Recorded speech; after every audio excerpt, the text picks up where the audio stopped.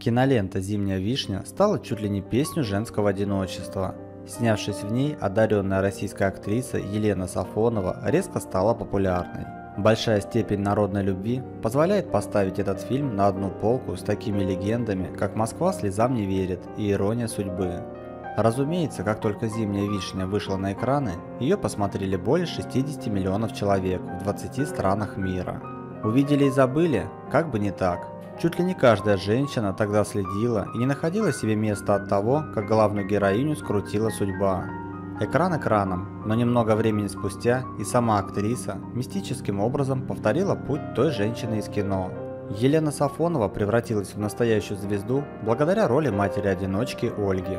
К сожалению, большая любовь народа и признание на актерском поприще в 90-е годы не позволили ей много сниматься. Они послужили косвенной тому причиной. Прямая причина была в самом кино. Отец Елены, Всеволод Сафонов, был актером, а мать Валерия Рублева – режиссером.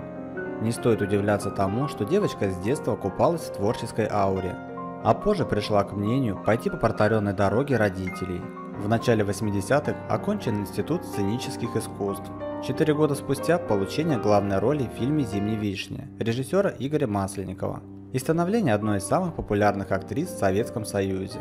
Ее талант никто не отменял, конечно, но в данных обстоятельствах Елене сыграл на руку эпизод с внезапным отъездом актрисы Натальи Андрейченко на постоянное место жительства в США. Именно она должна была сыграть Ольгу. Администрация срочно потребовала замену уехавшей артистки, и тут же нашлась Сафонова. Режиссер Игорь Масленников все изучил и понял, что зрители просто влюбились в картину он снял вторую часть, продолжение истории Ольги. Два года спустя Елене поступило приглашение от французского режиссера Клода Миллера сняться в фильме «Аккомпаниаторша». На дворе 90-е годы. Работая над ролью, она познакомилась с актером Самуэлем Лабартом. В 1992 году пара поженилась. Женщина покинула родину и переехала во Францию, где продолжила свою карьеру. С французским языком проблем не было, так как она учила его в школе. Русская публика дала Самуэлю прозвище «Муж Сафоновой». А все потому, что Елена успевала много сниматься и во французском, и в российском кино, например, в третьей части «Зимней вишни». Она часто пропадала на съемках, а он ревновал, требуя сделать выбор – карьера или семья. В итоге супружеская пара разбежалась. Сафонова вернулась в Россию со старшим сыном Иваном, рожденным в браке со вторым мужем. Самуэль был ее третьим мужем. Младший сын Александр остался во Франции со своим родным отцом. Актриса вела борьбу за мальчика, но суд оказался на стороне отца ребенка. Младший так и продолжает жить в Париже. Он тоже актер, как его мать и брат.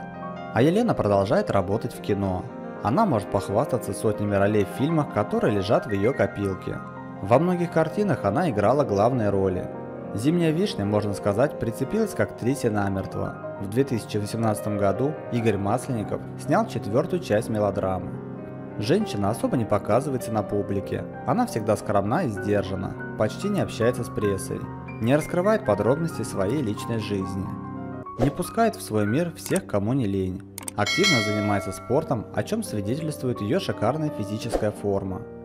Желаем Елене Всеволодовне еще больше творческих успехов. Дорогие зрители, обязательно переходите и смотрите самые последние новости у нас на канале, вам точно будет интересно.